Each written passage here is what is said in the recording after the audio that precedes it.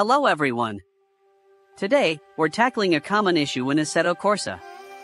Many users struggle with tweaking custom shader patch CSP settings.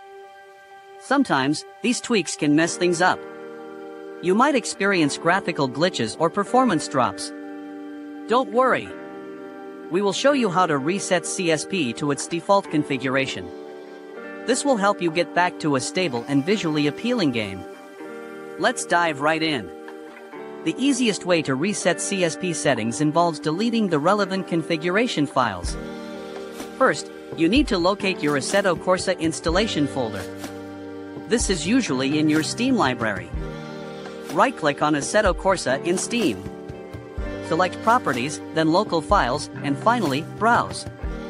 This will open the game's main directory. Now, navigate to the config folder.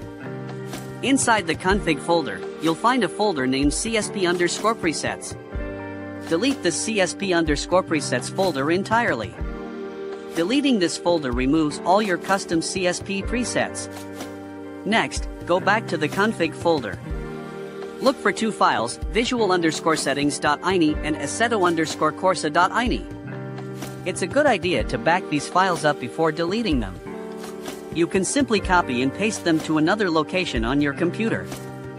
Once you've backed them up, delete them from the config folder. These files store your visual settings and some CSP-related configurations. Deleting them will force Assetto Corsa to regenerate default versions. After deleting these files, launch Assetto Corsa through Content Manager.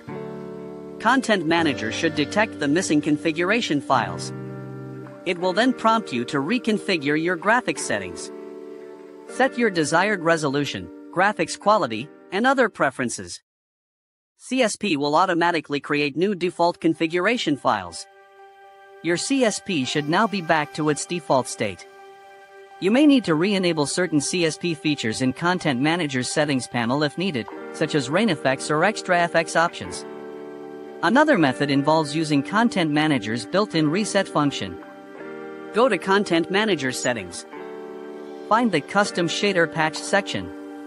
Look for an option labeled Reset to Defaults or something similar.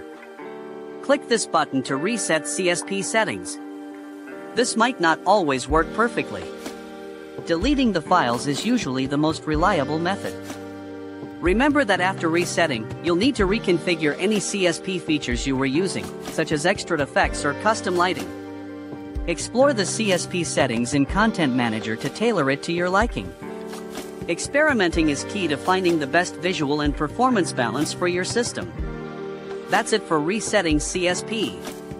We hope this guide helped you restore your Assetto Corsa to a stable state. If you found this video helpful, please leave a like and subscribe. Consider sharing this video with other Assetto Corsa enthusiasts. Your support helps us create more helpful content. Thanks for watching.